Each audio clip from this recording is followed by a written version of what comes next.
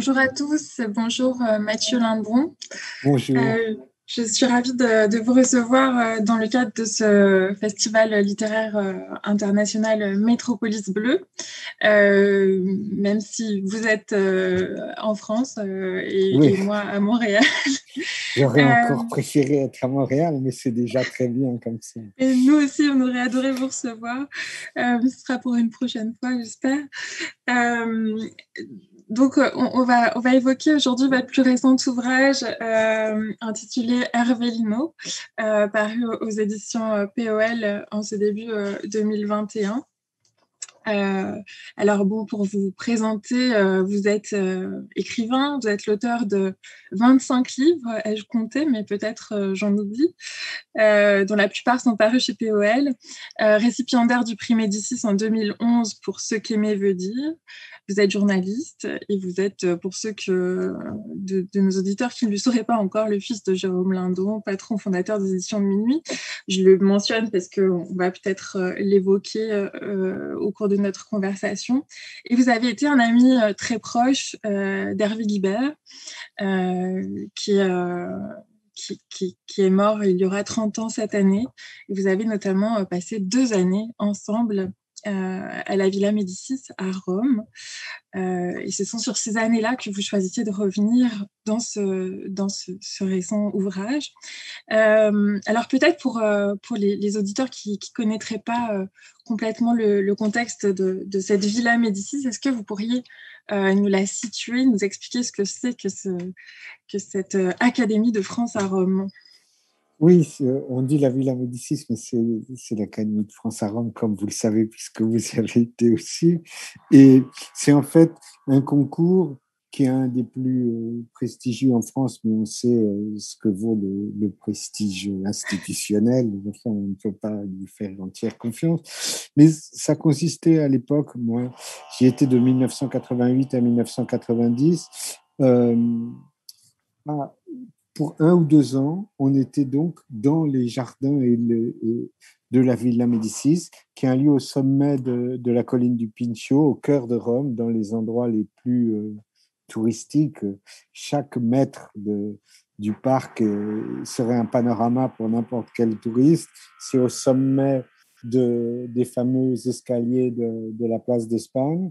Et donc, on est là pour un ou deux ans après qu'on a gagné le concours. On était à mon époque 22 pensionnaires dans diverses disciplines. C'était, les écrivains étaient là depuis assez récemment. C'était avant ce qu'on appelait les prix de Rome, c'est-à-dire des peintres, des sculpteurs, des historiens d'art. Et c'est euh, André Malraux, quand il a été ministre de la Culture du général de Gaulle, qui avait voulu euh, rénover un peu l'institution en la confiant à Balthus, qui en avait été euh, le directeur. Et c'est à ce moment-là, juste, donc après des siècles où ils n'y étaient pas, que les écrivains euh, y ont fait leur apparition.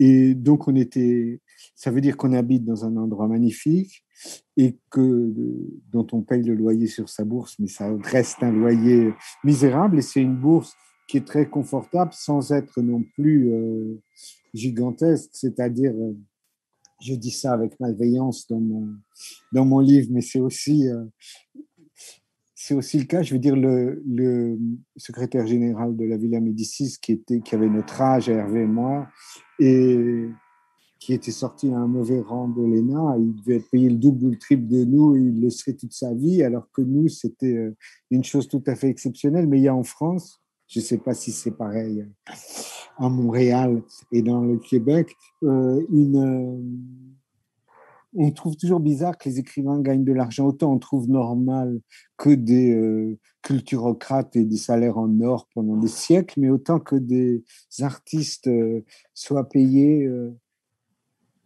correctement, ça semble très curieux, une étrangeté, comme s'ils devaient être condamnés à vivre dans des greniers et à se nourrir de pain et d'alcool quand même, parce que ça doit être ça, les artistes maudits. Oui, il y a une mythologie euh, romantique hein, qui, voudrait que l'écrivain paye euh, son art euh, de, sa, de sa condition. mais il y a quelque chose, à, la Villa Médicis, il y a une mythologie, hein, on est très écrasé parfois par le, le prestige, comme, comme vous le disiez, puis de l'institution, et puis aussi de l'histoire de tous les artistes qui, qui ont été avant nous. J'ai été en 99-2000, et puis le, la figure d'Hervé Guibert était très présente. On lisait l'incognito, je pense, tous les ans, puis on, on, se, on reconnaissait les vols des tourneaux qui n'avaient pas changé, le parquet qui glissait au même endroit, les, le personnel qui ne change pas non plus. Donc, il y, y, a quelque chose comme ça d'immuable. Et en même temps, ce qu'on sent dans votre livre très bien, c'est le côté un peu garnement, je pense que c'est le mot que vous utilisez, euh, d'une espèce de légèreté euh, de légèreté un peu mélancolique, mais euh, des qui sont là dans une parenthèse de leur vie qui est un peu, euh, un peu dorée parce que forcément, vous l'avez dit, c'est un endroit magnifique et en même temps qui est un peu en dehors du monde.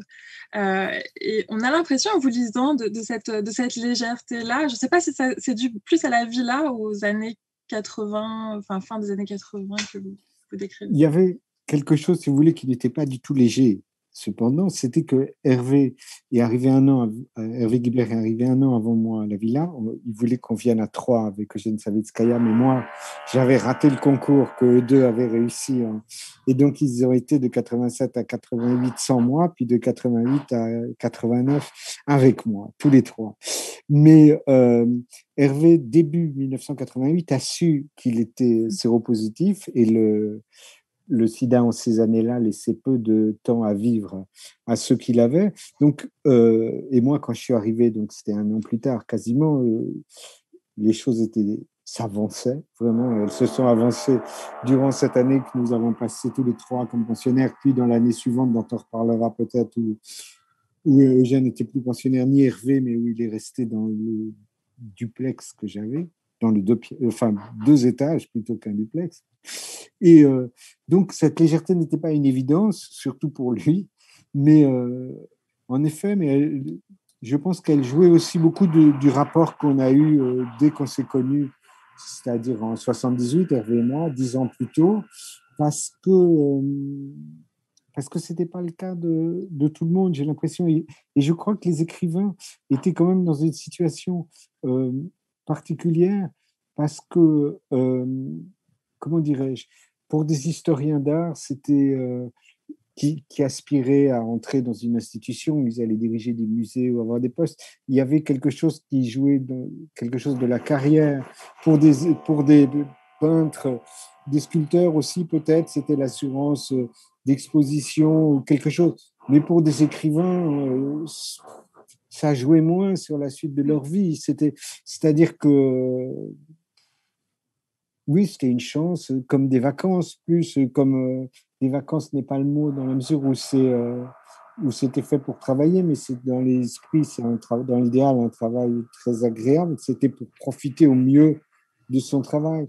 Je pense que socialement, euh, c'est pas exactement la même chose pour les écrivains, que ça leur facilite plus la vie, alors que parfois des artistes dans d'autres disciplines peuvent croire qu'ils sont arrivés à quelque chose en étant à la Villa Médicis, et puis quand c'est fini, c'est fini et ils n'ont rien gagné.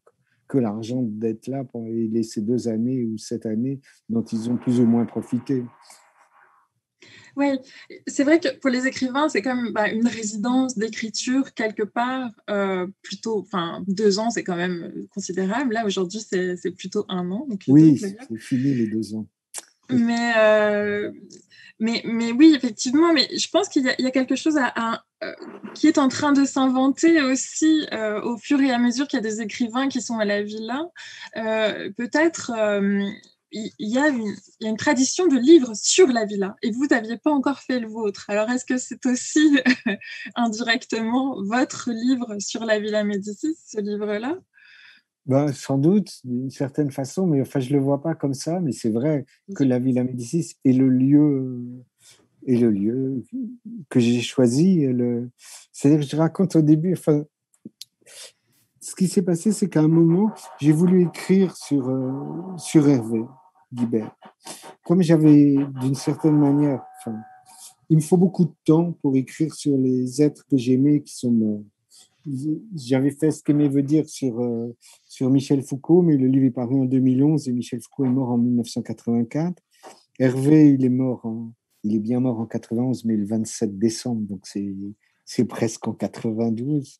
Et donc, il a fallu 29 ans pour que je publie le livre, comme si j'avais fini avant. À un moment, j'ai voulu écrire sur Hervé, mais il y avait quelque chose d'un peu ridicule.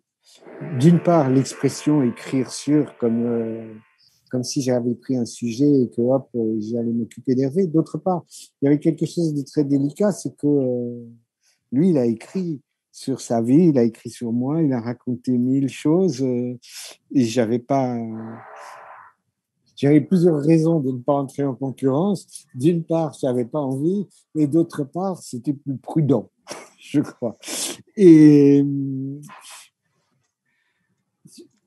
que j'ai commencé à faire, c'est que, euh, comment dire, tout, j'ai connu Hervé en 1978, il avait juste publié La mort propagande, mais à partir du moment où je l'ai connu, un, élément important, sans que je m'en rende compte moi-même sur le moment, de notre relation était qu'il me donnait à, lire euh, tout ce qu'il écrivait, puisqu'en fait, on était entré en contact par la revue Minuit, dont je m'occupais alors, mon père me l'avait confié aux éditions de Minuit, et il y avait publié des textes euh, tout de suite. Voilà. Et j'avais une collection, donc j'ai tous les livres d'Hervé et des dédicaces qui sont assez, d'une part assez extravagantes et d'autre part qui, dans mon esprit, disent quelque chose de, de son travail, de la façon dont il l'envisageait, et moi aussi, et de notre lien par rapport à ce travail. Alors, quand. Dites-moi si je parle trop. Non, non, c'est passionnant. Soyez sans scrupules. Mais. Euh, quand est paru Le Mausolée des Amants, dix ans après sa mort, et que, après que je l'ai lu, je me suis dit, relu pour une grande part, je m'en suis voulu de ne pas avoir mis, euh, même sur mon exemplaire tout bêtement, note ou d'avoir tapé pour moi toutes les choses que je pouvais euh, éclaircir, dont certaines, je suis le seul à pouvoir le faire, comme euh, Hans Georg ou Christine pouvaient être les seuls pour d'autres éléments. Et je me suis dit, à ma mort, ça sera perdu, personne ne pourra le faire, c'est idiot. Mais bon, je ne l'avais pas fait et l'idée n'est pas non plus très réjouissante de relire le livre juste euh, pour ça ou, je sais pas, je sais pas envie d'une certaine manière, je me sens pas de le faire. Peut-être je le ferai. Ça serait, je, me disais que, je dois ça peut-être non pas à Hervé, mais aux amateurs d'Hervé, aux chercheurs. Et et je me suis dit que sur les dédicaces, c'était beaucoup plus facile de le faire. Elle regorge de private jokes. C'est complètement incompréhensible pour qui que ce soit si je ne suis pas là pour l'expliquer. Je peux l'expliquer. Ça, c'est faire, euh, je sais pas, une vingtaine, faire une vingtaine de pages en vis-à-vis des, dédicaces, euh, de, raconter les choses. Et ça raconte à mon, à mon idée quelque chose de notre lien aussi en partant du début. Et puis j'ai fait ça. Et puis je l'ai fait lire à, à mon ami euh, Rachid O, l'écrivain marocain qui a été à la villa l'année d'après vous. Et, euh, et, je crois qu'il a été déçu, il a été très délicat. Mais je pense qu'il attendait quelque chose de plus, euh, j'allais dire compromettant, mais au sens de l'affection, que je, moi, j'avais voulu le faire comme un chercheur, et je suis pas un chercheur, ou comme quelque chose de presque scientifique, impartial et tout, et, je, peut-être c'était pas une bonne idée. Et il y a une chose, un jour où je lui ai raconté euh, que, que le directeur de la villa, qui m'aimait pas, mais qui revenait bien, qui ne me parlait jamais, et, je m'en trouvais bien aussi. qui à l'époque, le directeur Jean-Marie Drault. Et, et à, la fin, quand je, je quitte la villa, il me parle juste comme son ambition n'était pas d'être spécialement agréable. Il me dit Ah, tiens, mais vous avez grossi. Et ce qui était vrai, pour des raisons que je dis aussi dans le livre, c'est que Hervé étant malade, on prenait tous les repas ensemble, y compris le goûter. On n'arrêtait pas de manger parce que lui maigrissait énormément et que c'était une manière de lutter contre la maladie de, manger. Et il me dit, euh, vous avez grossi. Et Rachid, quand je lui raconte ça, me dit, euh, réflexion qui m'a vraiment plu parce que elle m'a fait penser à Hervé, c'est parce que je trouve que personne n'a eu cette réaction-là, me dit, euh, mais grossir pour son ami, c'est magnifique, tu devrais raconter ça. Et ça m'a touché, je me suis dit, oui, je devrais raconter ça, et, de me bloquer sur les années romaines. C'est une façon de ne pas empiéter sur ce que Hervé a raconté, même s'il a un peu parlé de, la villa aussi, mais dans Alami qui ne m'a pas sauvé la vie, et l'incognito, mais l'incognito, c'est l'année, il raconte l'année où je passe le voir, mais je ne suis pas pensionnaire encore. Et l'ami, le sida est un personnage plus important que la villa dans des proportions considérables. Donc, je trouvais que c'était une possibilité de le faire et que ça m'évitait de parler de toutes les années précédentes et que si je reprenais les dédicaces sous un tout petit temps, un angle un tout petit peu différent, toutes ces années-là, avant la villa de notre amitié, elles étaient racontées quand même par ses dédicaces à lui et les explications que je pouvais y apporter. C'est comme ça que j'ai fait le livre.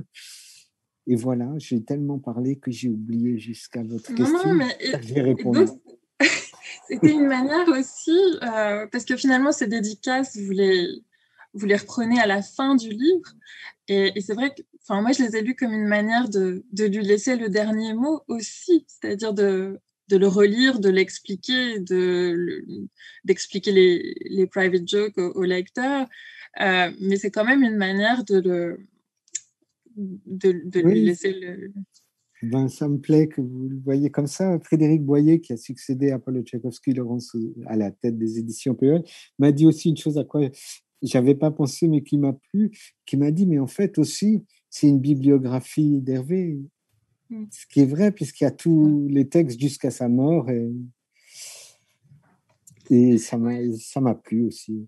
Enfin, mais c'est vrai que bon, moi, j'ai trouvé ce, livre très généreux, très loyal. Je trouve que c'est vraiment le livre d'un ami.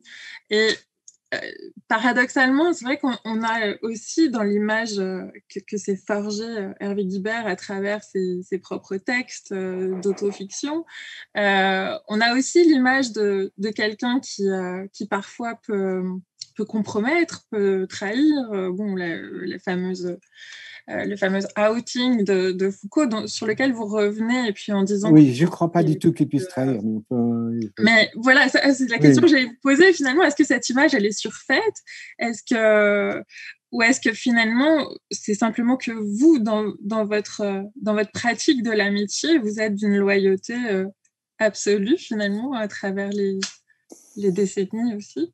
Contrairement, alors est-ce que est-ce qu'Hervé Guibert était comme ça aussi ou, Comment dirais-je? Alors, euh, je ne crois pas que c'était trahir Michel Foucault de dire que Michel Foucault était homosexuel sept ans après sa mort. Tout le monde l'avait su de son vivant. Comme, oui, comme je disais même déjà, dans, je crois, dans l'ami dans ce qu'Aimé veut dire, personne ne s'attendait à ce, à ce qu'on croit que Michel Foucault et sa femme recevaient leurs petits-enfants tous les dimanches à déjeuner dans leur appartement. Tout c'était ne rien dire que dire ce qu'il a dit. Je trouve que tout le monde le savait. C'était d'une hypocrisie. Euh, c'était pour lui chercher noise. Et je vois, c'était un peu bêta, euh, surtout dans l'état où il était. Je sais pas. Mais quant aux affaires de trahison, à ce mot, euh, je, je, crois qu'aucun de ses amis proches n'estime avoir été trahi par Hervé, ni Thierry. Enfin, il, il le dit ni le fameux Thierry qui est mort six mois après lui, ni Christine, l'ami Thierry qu'il avait épousé, ni Hans-Georg, ni moi. Le... Je pourrais poser la question euh, autrement d'une manière euh, qui n'est pas à l'honneur des relations humaines ou des relations amicales habituelles, de dire est-ce que dire la vérité, c'est trahir? Et voilà, je ne sais pas. Et puis en plus, quand je dis dire la vérité, c'est dire la vérité des choses telles qu'il les voyait, parce que ce que je raconte dans le livre pour moi, par exemple, il y a des choses qu'il dit dont je pense qu'il était fermement convaincu et dont moi j'étais convaincu qu'il les disait pour s'amuser et qu'il n'y croyait pas une seconde. Mais j'ai ce côté aussi euh, spécialement ludique, d'une part, et spécialement euh, du fait, vous disiez, euh, ma généalogie et du fait d'avoir été élevé dans cet environnement du nouveau roman ou de la, du fait que la mise en question des intrigues, même des récits de la vérité du roman était sans cesse remise en cause, ça m'est devenu très familier. Je ne crois pas à quelque chose parce que c'est écrit dans un livre. D'une manière sans doute exagérée, mais enfin, j'ai une distance euh, dont il serait peut-être bon qu'elle soit moins grande parfois. Mais d'ailleurs, vous, vous, le dites, euh, je pense que c'est dans, ce qu'Aimé veut dire, euh, qui est un livre magnifique euh, aussi, que lorsque votre père, Jérôme Lindon, refuse à l'ami qui ne m'a pas sauvé la vie, vous dites en fait il, il qu'il n'a pas complètement compris à quel point c'était un, livre d'autofiction finalement, à quel point, euh, oui, euh, c'était la mort d'Hervé qui se jouait dans ce livre-là.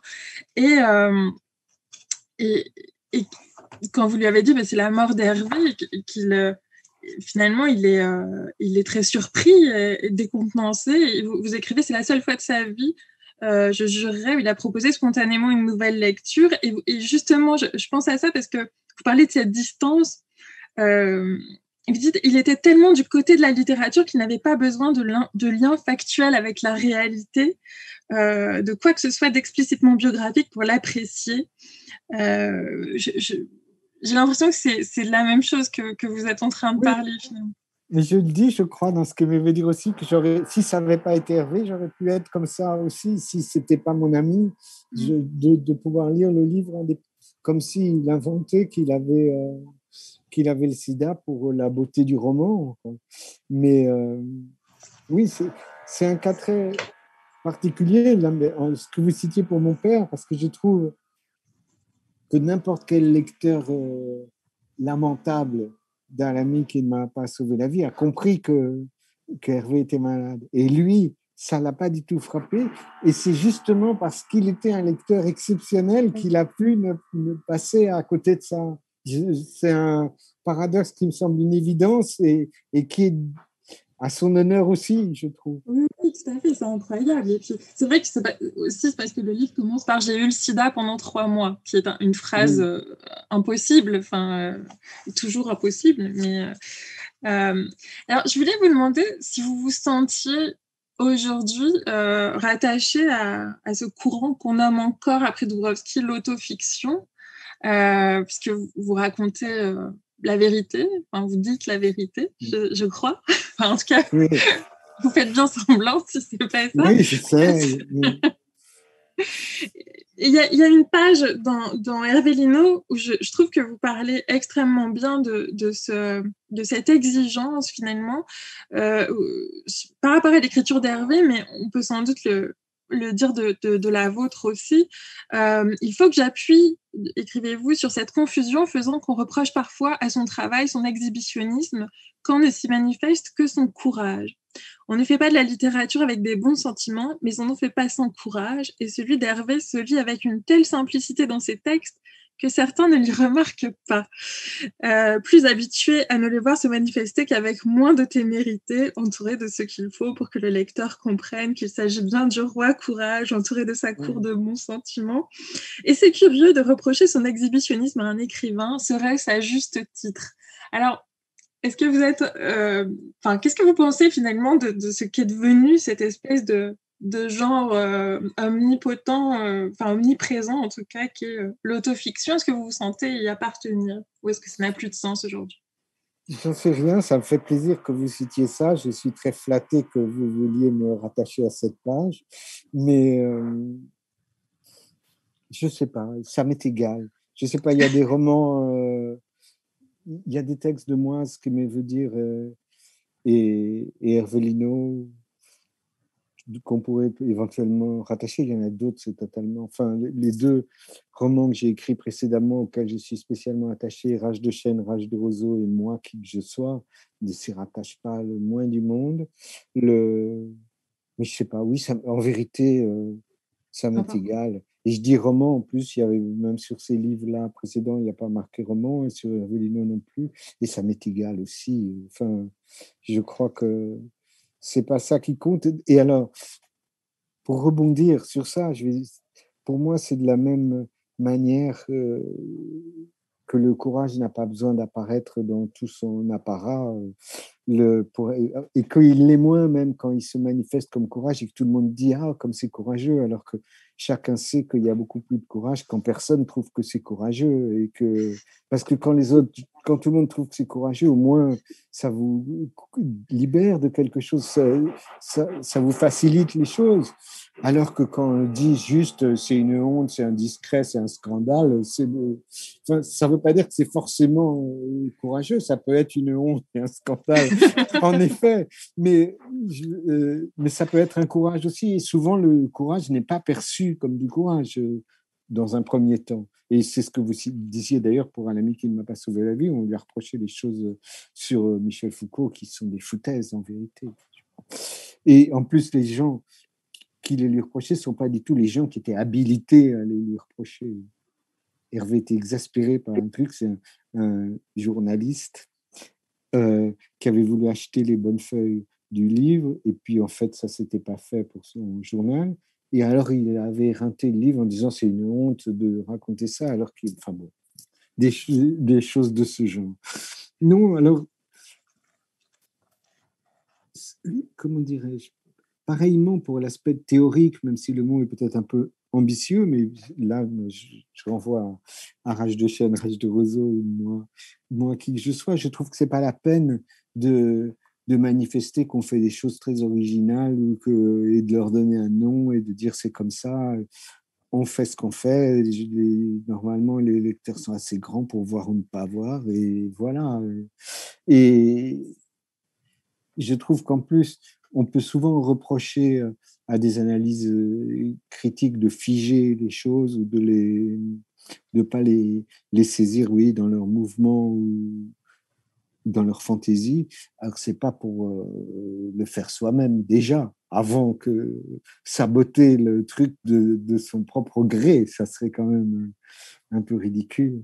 Donc c'est vrai que ça, pour revenir aussi à ce que vous dites, ça c'est une légèreté et que je trouve que cette légèreté qui, qui n'évite ni le, la pesanteur ni la profondeur, euh, oui, elle me plaît et j'y suis, j'y suis très attaché. C'est une forme de liberté aussi. Je trouve. Il y a un moment dans le livre où vous dites que les, que les critiques ou les exégètes euh, de Guibert sont cousus de fil blanc. Euh, je sais pas trop. mais je crois que je dis que ma volonté d'écrire le texte, de, de commenter les, les, dédicaces pour les exégètes, en fait, c'est cousu de fil blanc. Je m'en fiche. Euh, enfin, je m'en fiche pas des exégètes. Je suis très content qu'il en ait et tant mieux euh, ça passe et tant mieux quand ils sont bons et tant pis quand ils ne sont pas. Mais euh, mais moi, en vérité, je me suis rendu compte que ça avait été le prétexte que j'avais que je m'étais donné pour commencer à écrire autour des dédicaces et que après avoir écrit autour des dédicaces, j'ai écrit sur Hervé et je me rends compte que ce que je dis, ce qui m'est venu tout à la fin du livre et qui me touche moi-même un peu bêtement, je dire qu'en fait, les chercheurs auxquels je veux apporter quelque chose, c'est ceux qui cherchent l'amitié et que mmh. c'est surtout à cela que je donne des informations, même si chacun acquiert les siennes. Mais euh, et que cette discipline-là, elle a beaucoup de chercheurs. Mmh. Mais c'est vrai qu'en euh, tant que, que, lectrice de, de Guibert, euh, je pense qu'on est très nombreux à être dans, ce, dans cette situation. C'est-à-dire que au fil des livres, on cherche toujours à résoudre des micro-énigmes euh, privées qui n'ont rien de, littéraire, de, littéraire ou théorique, mais simplement qui est-ce que tel personnage est le même dans tel livre, dans tel autre? Est-ce que ce lieu-là, euh, voilà, enfin, c'est moi-même quand j'avais 18 ans, j'ai fait le voyage à l'île d'Elbe. J'ai rencontré euh, Hans-Georg Berger et, et Gérard Hardy à l'époque, et et c'était déjà cette espèce de qui était qui est pas de l'exégèse, qui est vraiment de la presque un peu midinette quoi. Hein, de, mais je pense que Hervé Guibert a construit aussi ce jeu de pistes et j'ai l'impression que dans votre livre je le retrouve et, c'est très joyeux finalement. De... Je trouve pas que ce soit midinette, c'est un fétichisme qui est quelque chose qui est de l'ordre de la littérature pour euh, m'en appeler à un auteur que personne ne limiterait au midinette, il y a ça avec Proust. Et non seulement il y a ça avec Proust, mais ça déborde sur tout ce qui est biographique de Proust et de la correspondance. Et de, enfin, voilà, et c'est intéressant et on peut être hyper ému. Donc, euh, non, je. Comment dire, évidemment, il y a, comme mon père qui n'a pas été capable de voir que c'était vrai euh, à l'ami qui m'a passé la vie, moi je suis aussi euh, un peu en décalage par rapport à, à mille choses. On me dit, euh, c'est euh, maintenant que c'est devenu une icône, mais pour moi, je ne me rends pas du tout compte que c'est devenu une icône. Je ne sais pas du tout. Je suis la dernière personne à pouvoir parler de ça, puisque ce n'est pas du tout une icône pour moi. Et de chercher euh, les choses d'un livre à l'autre, je me dis, mais là, il exagère, c'était pas du tout comme ça que ça s'est passé. Ou là, mais maintenant, c'est drôle, il avait raconté cette histoire tout à fait différemment. Et de toute façon, c'est pas, c'est pas ça. Et on voit, et je raconte aussi d'ailleurs, enfin, dans L'homme au chapeau rouge, qui est un livre qui paraît de façon posthume, mais il doit sortir le 6 janvier et il est mort le 27 décembre, donc c'est pas réellement un livre posthume puisque il a corrigé les épreuves. Pour cytomégalovirus, on avait corrigé les épreuves, c'est pour ça que j'en suis si sûr. Mais, mais euh, L'homme au chapeau rouge, euh, je l'avais lu et je ne sais pas si j'avais lu les épreuves. Mais euh, en tout cas, je lui avais dit c'est fou ce voyage en Russie. Je ne me souviens pas du tout que tu y étais allé, que tu l'avais fait. Et il, me dit, et il avait été enchanté parce qu'il avait inventé de toutes pièces, il n'y avait pas mis les pieds en Russie. Et même moi qui étais si proche et, si proche de sa biographie au jour le jour, enfin, ça aurait été bizarre qu'il puisse partir en Russie sans que je sois au courant quand même. Vu qu'on se parlait tous les jours. Même, oui, eh bien, euh, donc il avait été content de ça.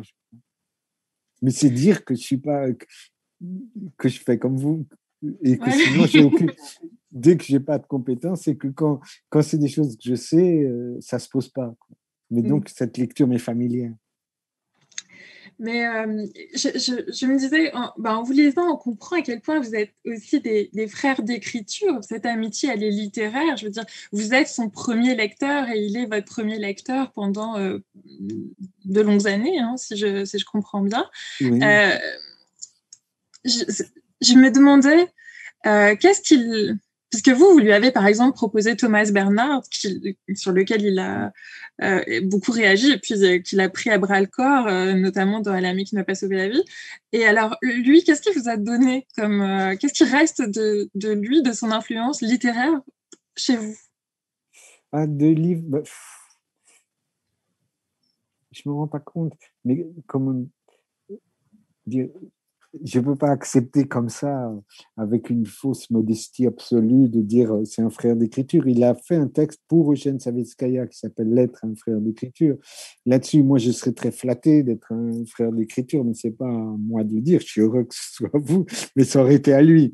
Donc, même si, de fait, il a toujours manifesté beaucoup de bienveillance et d'intérêt même pour ce que j'écris, mais il est mort quand euh, j'avais écrit pas beaucoup. Euh, pas beaucoup de livres, mais, euh, mais le livre de Gilles Courage, qui était ce qui lui avait euh, largement le plus plu.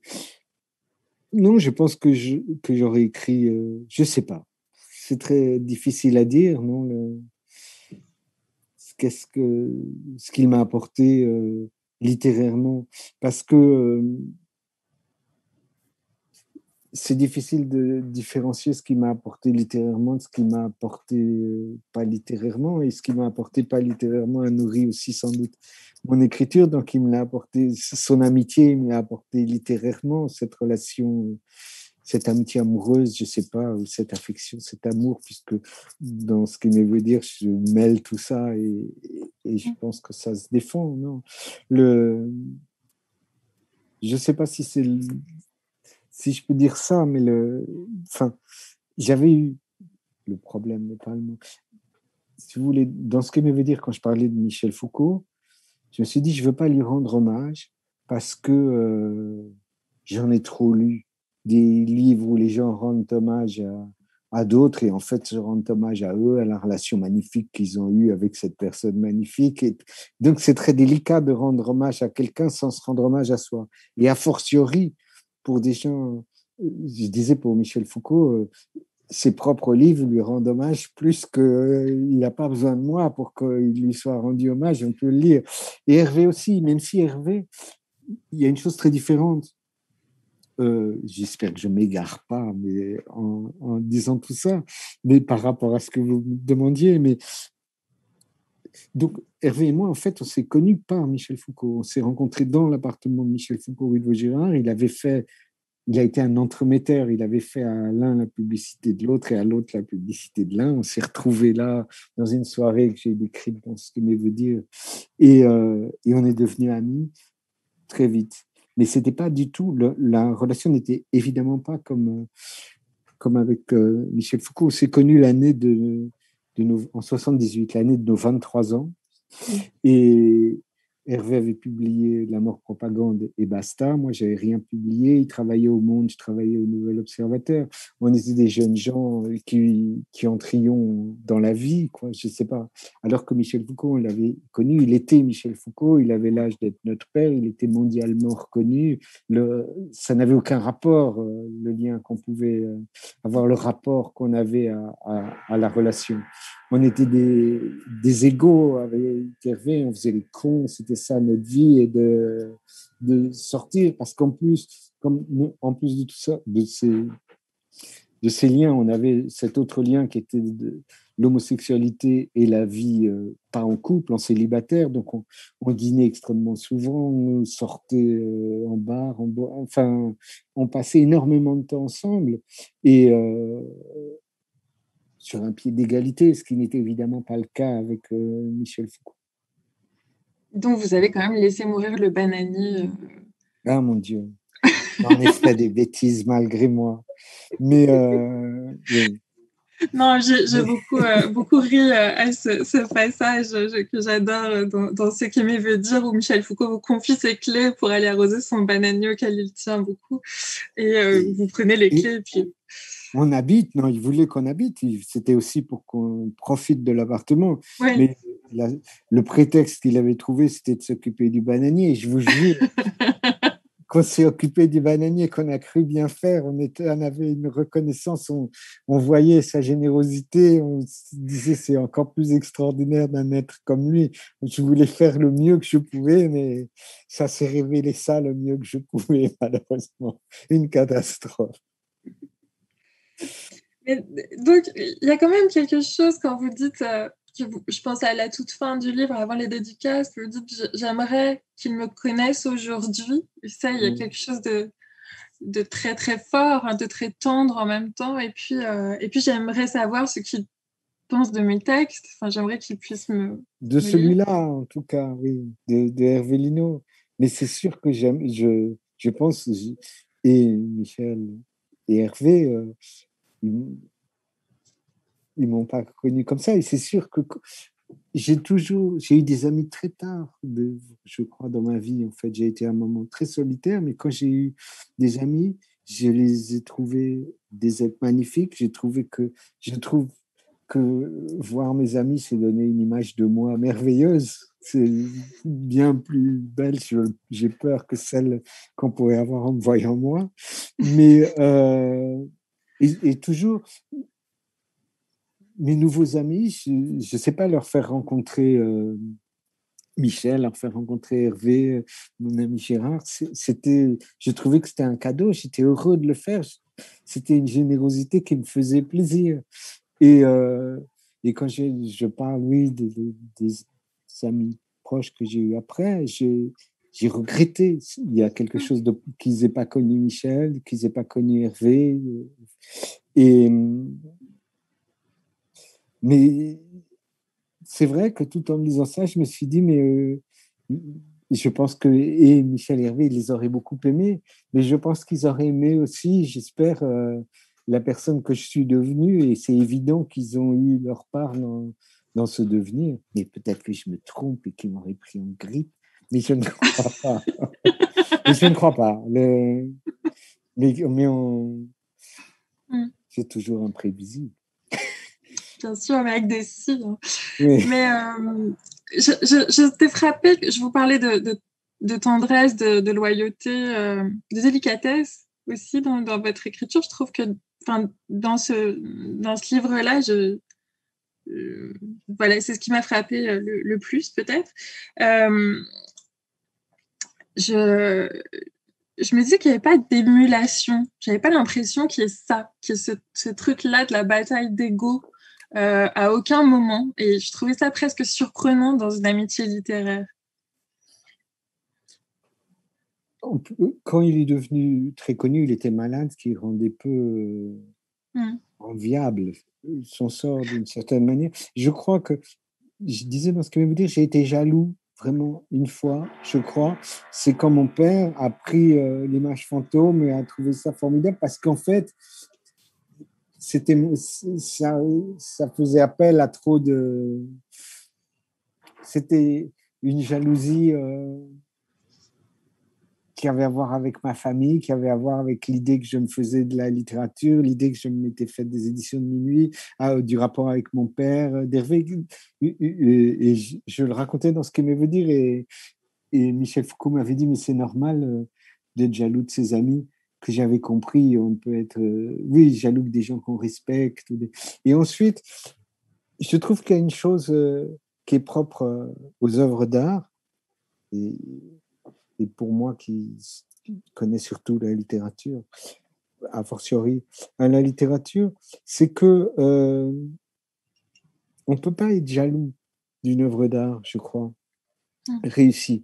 Elle procure du plaisir. On peut être jaloux du succès de quelqu'un, on peut être jaloux de, de ce qui lui arrive éventuellement, mais on peut pas être jaloux de l'œuvre elle-même parce que c'est euh, c'est de la joie pour tout le monde. C'est pour ça qu'on a encore une reconnaissance pour Racine ou pour Montaigne. Je sais pas, c'est il y a quelque chose qui fait du bien. Euh, alors on ne peut qu'être content.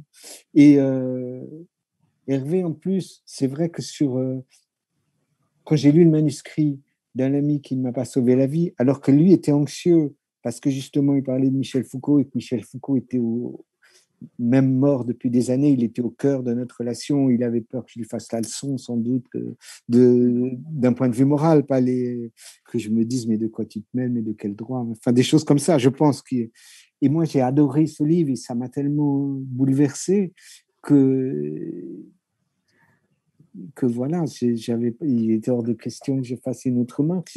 que, mm. que dire, je trouve ça magnifique et je pense que il en a été spécialement ému. Et c'est vrai aussi que Hervé a toujours eu euh, l'ambition euh, d'être euh, d'une célébrité rapide, comme s'il sentait qu'il avait intérêt à ce qu'elle soit rapide parce que sinon il n'en profiterait pas. Et hum, que moi j'ai été élevé, alors pour le coup, dans l'idée qu'il euh, il n'est pas compté gagner un sou avec des livres, que tout mettait 100 ans, et que voilà, et que j'ai intériorisé ça très bien. Euh, je me souviens que quand j'ai eu le, Médicis pour ce que veut dire, le déjeuner avec Paul Laurence, il m'a dit, euh, disait une des choses qui m'a plus ému dans le livre. C'est vrai, je disais, parce que j'ai toujours des problèmes avec mes livres, j'ai eu des procès, des trucs.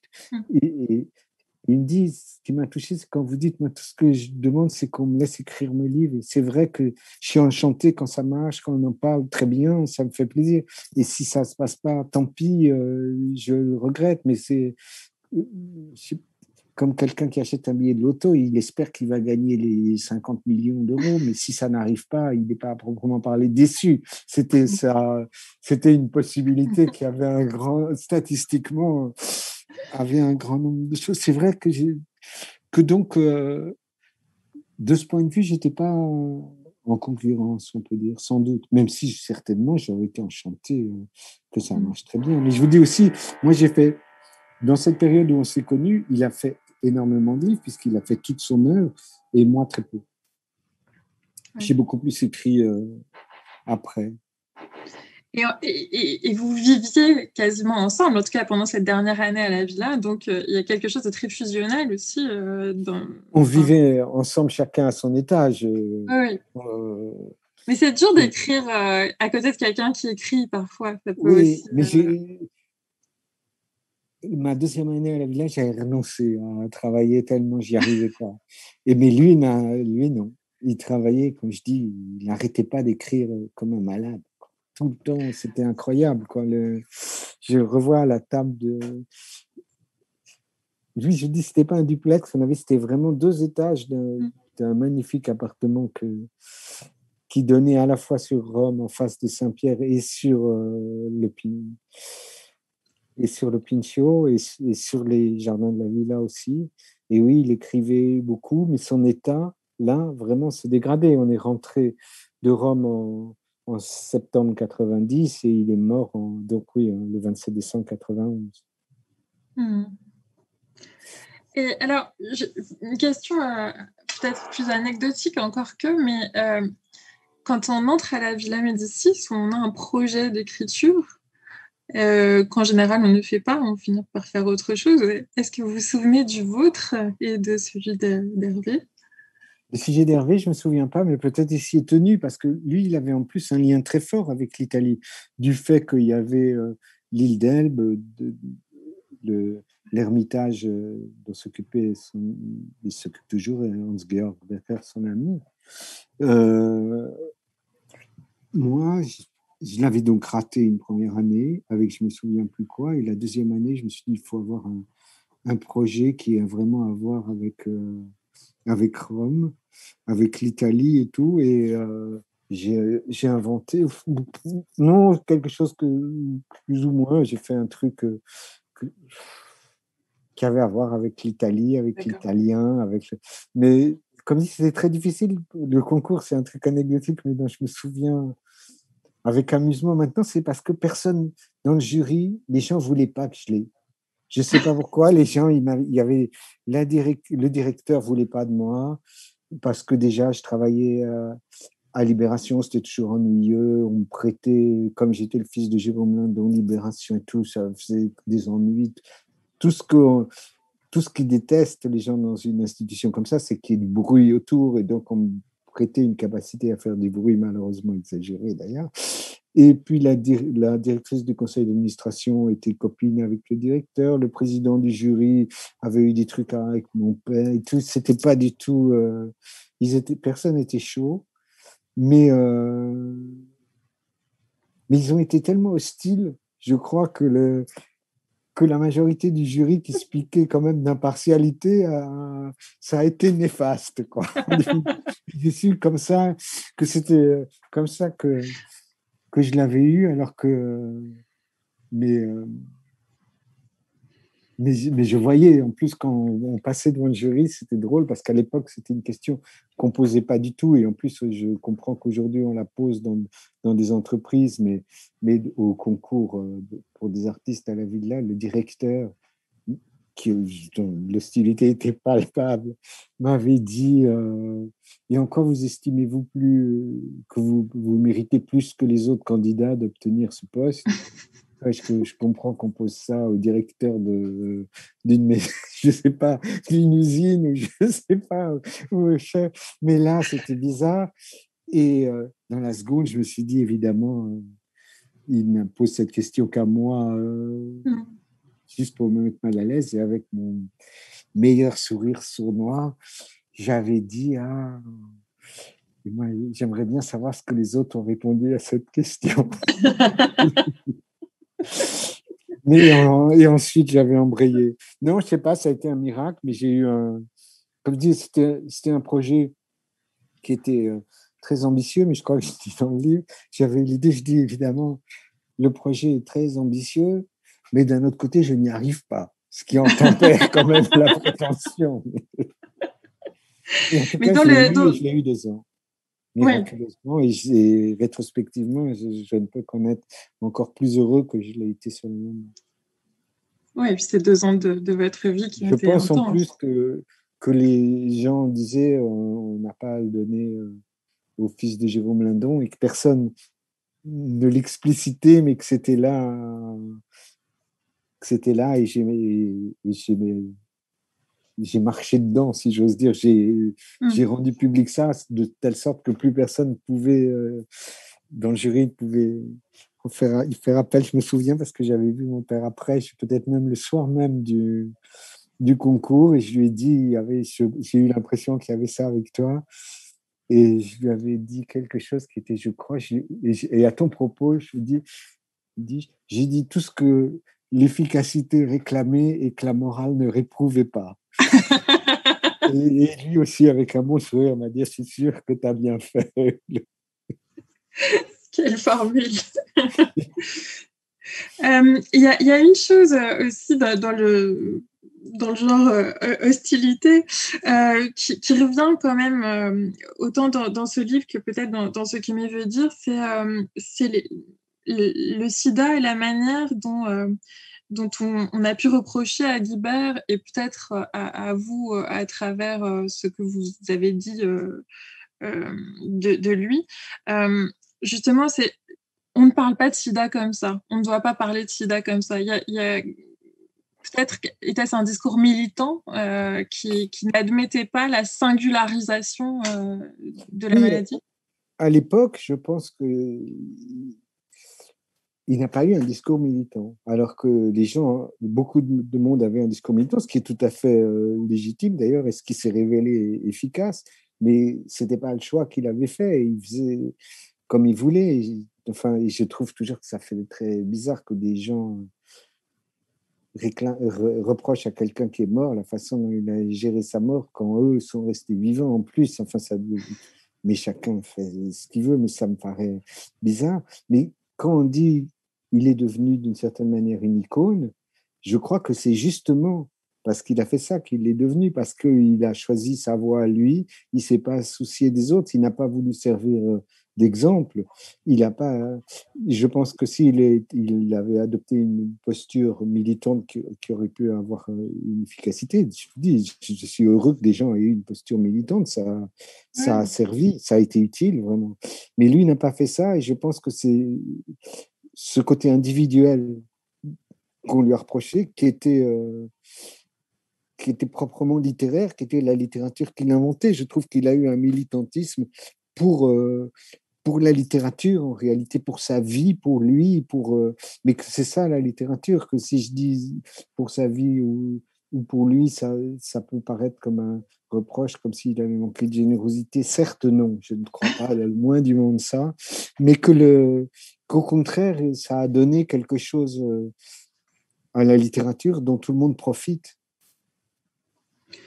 Oui, et puis peut-être qu'il y a quelque chose de c'est plus facile finalement de, s'identifier ou de ou d'aimer euh, une, figure euh, individuelle romanesque euh, que de que de s'attacher affectivement à un discours militant finalement il a incarné le la maladie il l'a incarné plus qu'il n'en a parlé finalement oui, oui mais quand c'était quand on est au cœur du cyclone justement mm. on c'est plus facile d'être dans le, militantisme, de lutter contre le cyclone que de que de décrire le cyclone. Quoi.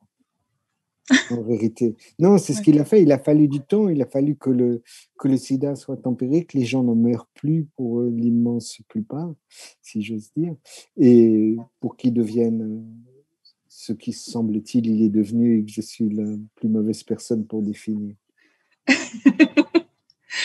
Est-ce que finalement, euh, le, fait d'écrire ce livre, c'est aussi euh, de, le restituer humain plutôt que euh, iconique? Il y a quelque chose d'une justice posthume peut-être qui est comme non, c'était lui, c'était mon ami, c'était pas. J'enlève mes écouteurs parce qu'il y avait des travaux chez moi et un bruit épouvantable, mais ça m'a l'air d'être fini, alors c'est plus commode comme ça. Non, le puisque moi, je ne me rendais pas compte qu'il était iconique. C'est quand euh, des réactions à la sortie du livre qui me l'ont fait euh, découvrir, si j'ose dire. Donc, qu'il soit, euh, qu'il soit aimant, ce n'est pas une grande découverte. Pour moi, non, mais ce que je veux dire, c'est que je n'avais pas à le défendre sur ce plan. Pour moi, c'était l'évidence, comme je peux vous dire. Comme je peux être à côté de la plaque d'un côté ou de l'autre, et là, je me dis, enfin, ça ne se posait pas. Le... Non, j'ai voulu j'ai voulu parler de notre lien, mm.